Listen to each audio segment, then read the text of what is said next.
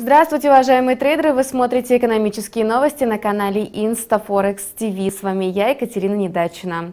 Самая популярная валютная пара на рынке Форекс – евро-доллар. В течение вчерашней европейской торговой сессии двигалась преимущественно согласно боковому тренду. Напряжение инвесторов, вызванное опасениями за возможное дальнейшее смягчение монетарной политики Европейским центральным банком, не давало евро перспектив к восходящему движению. По расчетам аналитиков UBS, регулятор решится на снижение процентной ставки с вероятностью в 50%.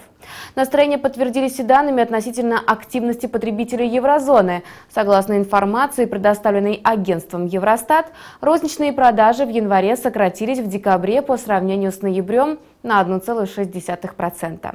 При этом годовой показатель ушел в отрицательную зону с 1,3% к минус 1%, тогда как аналитики предвидели рост значения до полутора процентов со знаком плюс.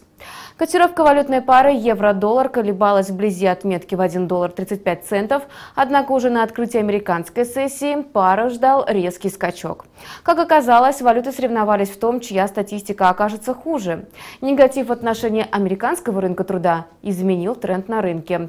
По предоставленным ADP данным, в частном секторе в январе месяце было создано всего лишь 175 тысяч новых рабочих мест вместо прогнозируемых 191 тысячи. Данный отчет является опережающим индикатором и намекает участникам рынка о том, каким будет официальный отчет по изменению числа занятых в несельскохозяйственном секторе. В календаре трейдера публикация этого отчета запланирована на пятницу.